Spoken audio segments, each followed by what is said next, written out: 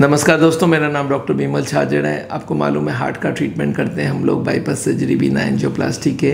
But as a hobby मैं आपको बहुत सारी चीज़ें टाइम टू टाइम बताता रहता हूँ। आज आपको बताऊँगा दूध के बारे में।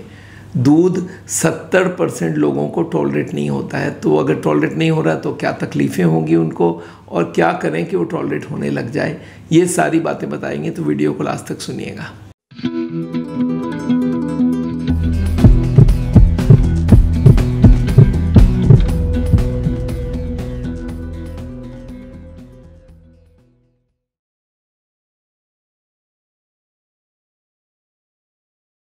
नमस्कार दोस्तों, दूध आपको मालूम है एक बहुत पॉपुलर फ़ूड है। इंडिया में इससे तरह के चीज़ें बनती है, दूध से। छाछ, दही, चाय कॉफ़ी श्रीखंड और मिठाइयाँ, रसगुल्ले, कितने तरह के मिल्क एंड मिल्क प्रोडक्ट्स हैं। और आपको मालूम है बटर घी, ये सब भी मिल्क से बनता है। तो मिल्क एक ऐसी चीज़ है जो आम जनता के लिए खाया जाता है। सब कोई खाते हैं, सब कोई दूध की सामान खाते हैं, दूध का सेवन करते हैं, पीते हैं।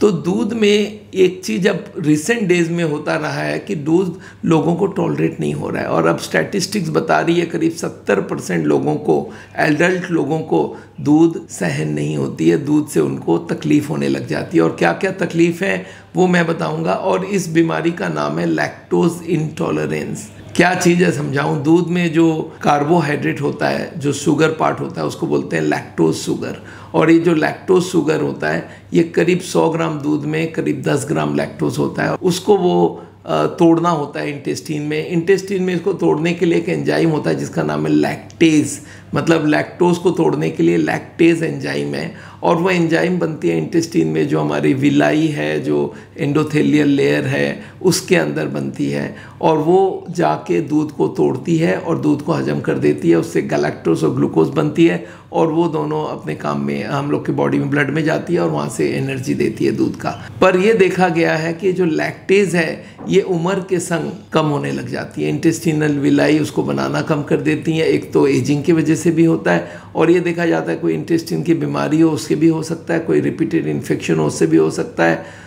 तो कोई कारण होती है जिसकी वजह से एडल्ट लोगों में लैक्टेज कम बनना चालू हो जाता है। और फिर क्या होता है? वो जो दूध के संग जो लैक्टोज गया हमारे अंदर, वो डाइजेस्टेड नहीं होता है और वो स्मॉल इंटेस्टिन से ट्रैवल करता करता लार्ज इंटेस्टिन में पहुँच जाता है। और बड़े आँच जो होती है लार्ज इंटेस्टिन वहाँ पे बैक्टीरियाज होते हैं, वो दूध के जो लैक्टोज है, उसको फर्मेंट करता है, बहुत सारा गैस बनाता है और इससे बड़े सारे सिम्टम्स होने लग गए और ये बहुत कॉमन हो गया। बहुत सारे लोग मुझे बोलते हैं, सर, दूध पीने के बाद मेरे को हजम नहीं होती है, पेट में गैस बन जाता है पाद आने लगती है और मेरे को स्टमक में पेन होने लग जाती है लूज मोशन हो जाती है पेट फूल जाती है। तो ये सारी प्रॉब्लम्स अगर आपको भी होती है तो आप मान के चलिए आप भी उस लैक्टोज इंटॉलरेंस की बीमार हैं।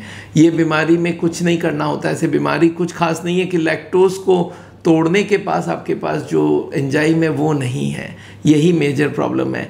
अब इसको कैसे पता करेंगे आप लैक्टोज इंटॉलरेंस है या नहीं आपको? तो दो चार दिन आप अच्छे से दूध पीजिए और सारे पेट वाले सिम्टम्स देखिए और दो चार दिन बंद करके देखिए वो सिम्टम्स गायब हुए कि नहीं। और फिर चालू करिए।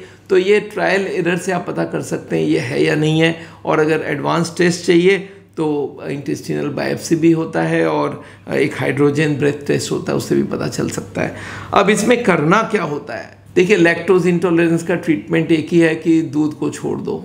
दूध के जगह और सारे आजकल हम लोग बोलते हैं प्लांट बेस्ड दूध आने लग गए हैं। जैसे कि आपको मालूम है, सोया का मिल्क आ गया है ओट मिल्क आ गया है एलमंड मिल्क आ गया है कैश्यू मिल्क आ गया है। तो मिल्क के बहुत सारे सब्सिट्यूट्स हैं जिनको आप आराम से ले सकते हैं। और आजकल एंजाइम भी आ गया हैं लैक्टेज करके। मैं अमेरिका में गया था, वहाँ पर एक आदमी जेब से निकाला, बोला, सर, मुझे दूध पीने की आज इच्छा हो रही है तो आगे लैक्टेज ले लेता हूँ, फिर दूध ले लूँगा। तो लैक्टेज एंजाइम आजकल मिलने लगे दूध के संग उसको ले सकते हैं। और कोशिश करिए कि दूध से बना हुआ सारी चीज़ों को अवॉइड करिए। तो ये एडल्ट लोगों में बहुत कॉमन है। बच्चों में दूध टोलेट करता है क्योंकि उनके पास ये लैक्टेज एंजाइम बहुत परिमाण में होती है। पर जैसे ही हम बीस साल क्रॉस कर जाते हैं, उसके बाद दूध हजम नहीं होता है। वैसे भी हम लोग हार्ट के पेशेंट्स को बोलते हैं, दूध एनिमल प्रोडक्ट है, उसमें कोलेस्ट्रॉल बहुत ज़्यादा है तो दूध को अवॉइड करिए। तो दूध तो आपको एडल्ट लोगों को अवॉइड करना ही चाहिए और स्पेशली आपको अगर लैक्टोज इंटॉलरेंस है दो तीन दिन अच्छे से दूध पीजिए और फिर देखिए पेट में कुछ गड़बड़ है कि नहीं और दो तीन दिन बंद करके देखिए आपको पता चल जाएगा आप लैक्टोज इंटॉलरेंट पेशेंट है या नहीं है। तो एनी anyway, आज यहीं पे आपको रोकता हूँ पर ये वाली इन्फॉर्मेशन बहुत सारे लोगों के पास है नहीं और वो तकलीफ़ बोलते मेरा को गैस का प्रॉब्लम होता है जैसे ही दूध बंद करता है वो ठीक हो जाता है। तो ये आप अगर हैं तो इसको आप ख्याल करें। थैंक यू सो मच हमारी हार्ट की चैनल आप ज़रूर देखिए, हमारी ज़ीरो ऑयल कुकिंग की किचन है, उसको ज़रूर सब्सक्राइब कीजिए। मिलते रहेंगे आपको हम।